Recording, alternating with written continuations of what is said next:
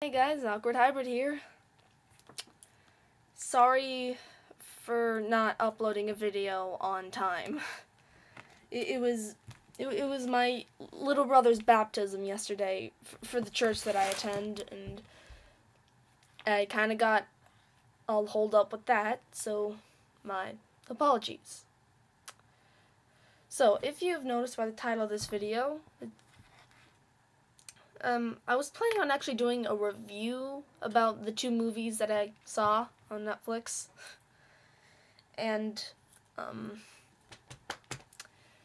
so, but I'm, I'm not sure if I actually want to review it, think about it critically, because these movies just, Home and the Box Trolls, just get you right in the feels. So instead, I'll think I'll just talk about it. Instead, no review, no grading, no four out of five stars, two out of five stars. I'll, I guess I'll point out a few things that I liked and didn't like, which I guess you could call a review, but who knows.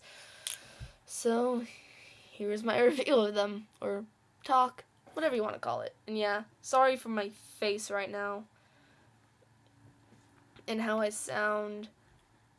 My family got sick over Thanksgiving break, so, uh, yeah.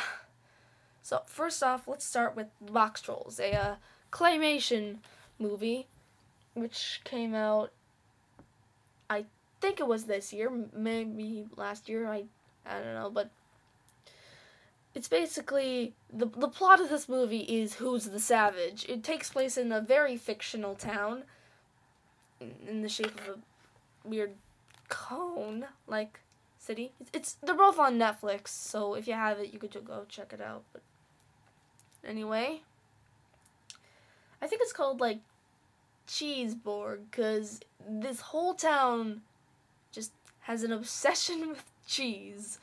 Yeah, I know it's it's British humor.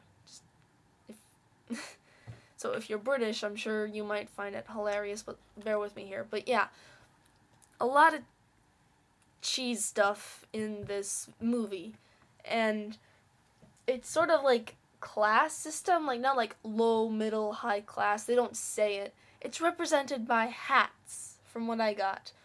Like the red hats are basically sort of the uh, the exterminators for the Boxtrolls, and like the white hats are like ultimate highest power. It doesn't say if you're like a king, a mayor, uh, and a, a cult leader. I it doesn't say. You just if you have a white hat, that means you'll do the highest, most noble thing, which is, which is lounging around in in a room eating cheese and discussing it. It's, it's called the tasting room. yeah, as I was saying, the plot is basically who's the savage. The the there's all this like propaganda and stuff about oh the box trolls they're evil they sneak out at night and they steal your things and they'll eat your babies because one night said 10 years ago there is no exact timeline but it's supposed but it it's supposed to take place in like like either like from the late 19th to early 20th century from what we get at but 10 years ago there was a kid the the Trubshaw Trump shop something baby who was kidnapped by the box trolls. And that kid turns out to be our protagonist. His name is Eggs. Because that's the box that he has. Just, his eggs on it. But yeah, he was basically not born, but raised with the box trolls, believing that he was one. And my first question is, how did he learn English? There isn't really any English learning in the it doesn't show him learning English or it's like they read something. It's just he knows English. No explanation for it. Like he'll say like a couple words at first, so it's like like come on or this way. But then he meets up with this girl. I admit, I actually, don't remember her name. but she's the daughter of like the mayor, king, whatever of the place, and he clearly starts st- talking with her, and it's just like, yeah, where did he learn that? But yeah, the plot is actually there's a red hat guy named Mr. Snatcher. And he basically looks like some like the creepiest, just greasy son of a gun you might ever meet, and he's really suspicious. And he has a deal with white hat leader guy that he is um that if he exterminates every box troll then he could become a white hat guy and eat cheese in the tasting room. So he's trying to exterminate them all, and it's like, oh, they're monsters. There's curfews. Don't don't leave your children outside at night. I don't know. but yeah, it's like a very high honor about about about this uh thing. Yeah, I'm I'm sorry. It's difficult to talk this movie with a straight I mean to talk about this movie with a straight face. But yeah, of course, since this whole class system revolves around hats and cheese, Mr. Snatcher decides that he and his henchmen are gonna try and replicate this, like in their own little building. But it turns out that Mr. Snatcher has allergies. And I'm not saying lactose intolerant, like, oh, he gets all like indigestion and cramps. Like, no, he actually has allergies. Like, he swells up and gets hives. Cheese. Just any kind of cheese. And he is in complete denial. He's not like, no, I don't have allergies. He doesn't even notice it. like, he doesn't notice how his neck and face get all itchy and how he bloats up. Like, and like his lip is just ugh. It's a little terrifying to look at. Like they're setting this up in in the room, and like the three henchmen are like spinning around this table, and like they're trying to give him as little as possible to prolong this as long as they can, before he starts apparently hallucinating because that's his allergies. He swells up, he itches, he hallucinates. I I know. So basically, you're just sitting there like, so if being in the tasting room is eating the cheese is his ultimate goal, there's gonna be a bit of a problem here. But yeah, then of course there's all there's this like thing that happens when uh he ends up discovering the box troll's location, and this is when the movie goes into a massive rut. Cause it's I don't know, it just really slowed down the film for me, cause it wasn't exactly as fast paced as Home was from time to time, but it, again, it just slowed it down because you knew it was gonna happen. Like, there's eggs, and he's like pretty much a captive or something, and he's sitting there. And yeah, I'm sorry, I don't want to go too into spoilers for it, but I won't. But it gets kind of cliche, and you're just sort of sitting there like, oh goodness gracious, so slow. And yeah, there's also a random guy in uh in Snatch's little area place. Okay, uh, hear me out when I say this though. Um, about the guy, like random guy, like his hair's all wild and he has like a beard and it's all gray, like it's like has graying hair. Yes, it has like graying hair. Yes. Anyway, just keep track on that guy, okay? I'm not gonna say what his role is, just keep an eye on him.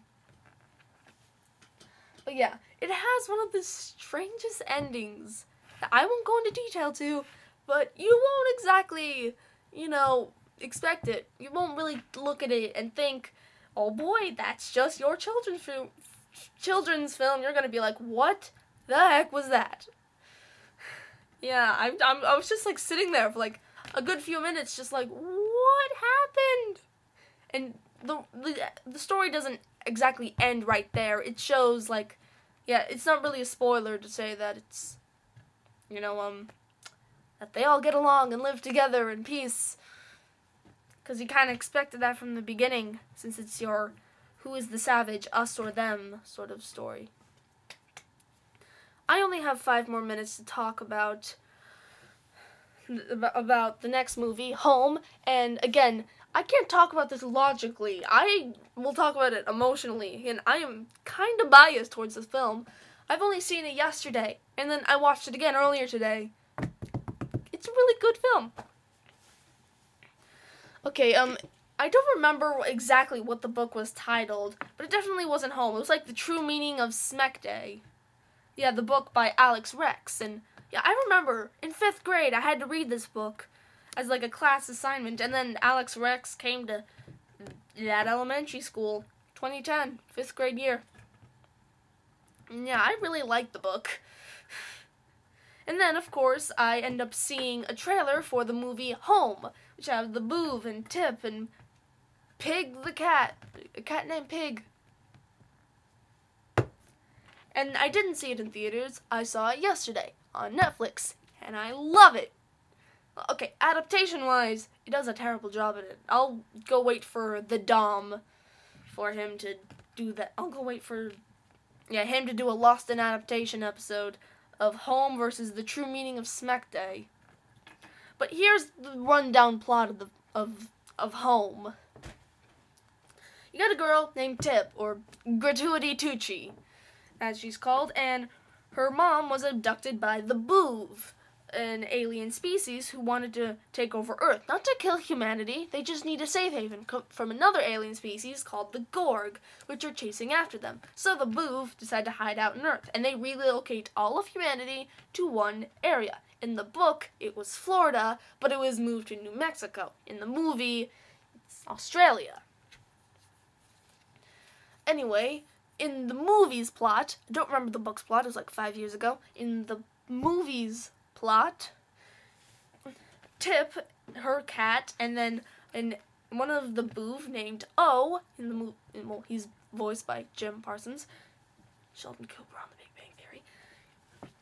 He well, cause like he's a fugitive because he ended up doing a mis- uh, he made a, he made a mistake, and I'm not going to go into detail on why what, because we only got two and a half minutes left, so I'm going to try to run through this as best as I can.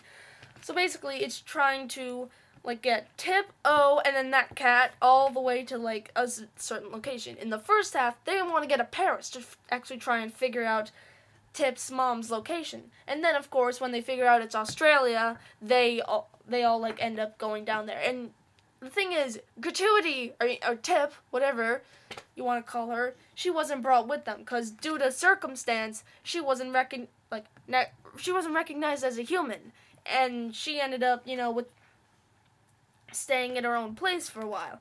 Anyway, blah blah blah blah blah. There's more stuff that happens. I got two minutes left. I love the film.